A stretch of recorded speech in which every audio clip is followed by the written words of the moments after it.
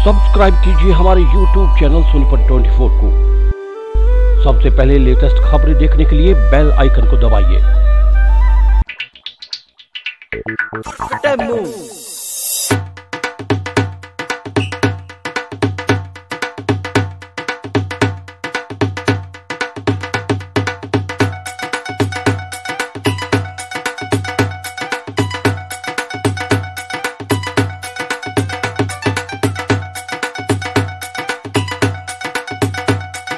समाज सेवी सतीश राज देशवाल डॉक्टर भीमराव अंबेडकर मंच द्वारा आयोजित कार्यक्रम में मुख्य अतिथि के रूप में पहुँचे। इस अवसर पर देशवाल ने कहा कि नेताओं को पाँच साल खत्म होते ही जनता की याद आनी शुरू हो जाती है।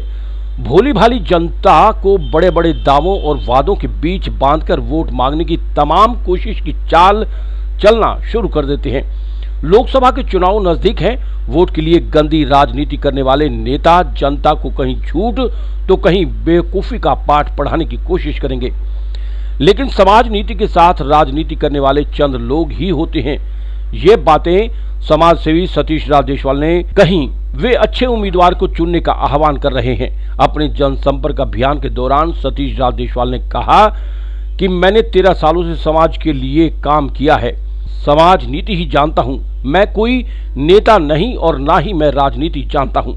लेकिन जब राजनीतिक पार्टियों का झूठ और फ्रेब दिखता है तो खून खोलने लगता है, क्योंकि इन राजनीतिक पार्टियों ने पाँच साल में एक बार आना है और झूठ बोलकर जनता का वोट लेकर बेवकूफ़ बनाकर अपना उल्लू सीधा करना है।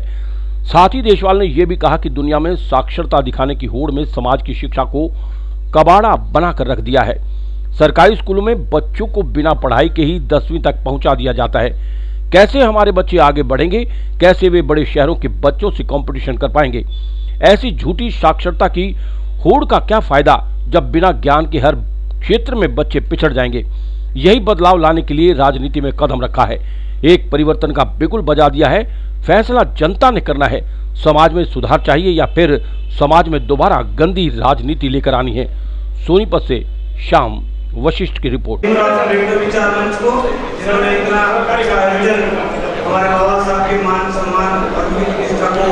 और पूरी टीम को, हमारे जी और हमारे दिलीप सिंह नेहरा जी। दोनों और जितने भी और साथी हैं, जितने और साथ में टीम है पूरी, उन सबको बधाई देता हूँ। और ये कहना चाहता हूँ, हमारा जो राजनीतिक परिवेश है, उसके अंदर समस्या खड़ी हो गई है। पोलिटिकल पार्टियों ने अपने फ़ायदे के लिए जो है सारी चीज़ों को इस्तेमाल करना शुरू कर दिया। उन्नीस सौ सैंतालीस में देश आज़ाद हुआ।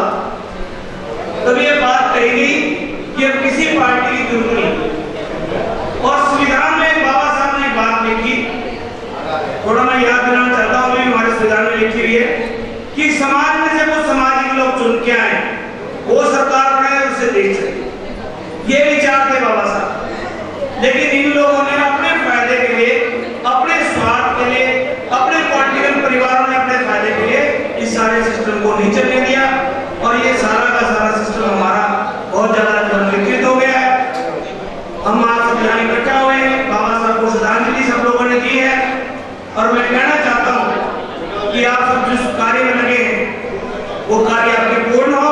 और एक हमारा मेन उद्देश्य है कि हमारे बच्चों को हम लोग पढ़ा लिखा के अच्छे संस्कार देके उनको कामयाब अपने पैरों पे खड़ा करें। और इसी सोच पे हम लोग काम करते हैं। आप लोग भी ये चाहते हो कि आपका बेटा, आपकी बेटी, आपका पोता, आपकी पोती पढ़े लिखे कामयाब हो जाए। और यही हम भी चाहते हैं कि हमारे बच्चे पढ़ लिख के कामयाब हो जाए। लेकिन सरकारी स्कूलों की व्यवस्था एकदम मत से बदतर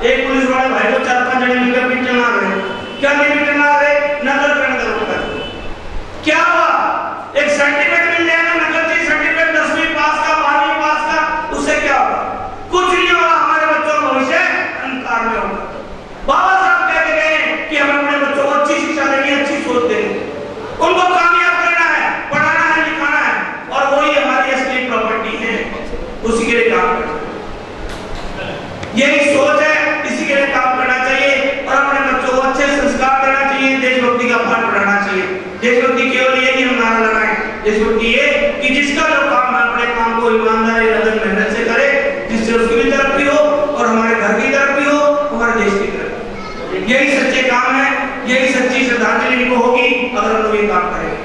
मैं आप लोग के बीच में आया देरी से आया, उसके लिए क्षमा चाहता हूँ।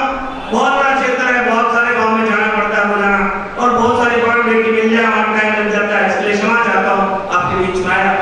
फिर आगे और प्रोग्राम जब भी आप इन्वाइट करेंगे मैं आता रहूँगा, और संस्था में मैं साथ हूँ, हमेशा से जो भी मेरे जिम्मे काम लगाएँगे, मैं उसको पूरा करूँगा।